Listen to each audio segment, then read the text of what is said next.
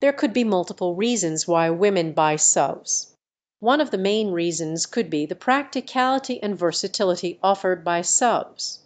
SUV usually have ample space for passengers and cargo, making them a popular choice for families and people who frequently transport goods; additionally SUV often have higher ground clearance, making them suitable for off road driving in some cases.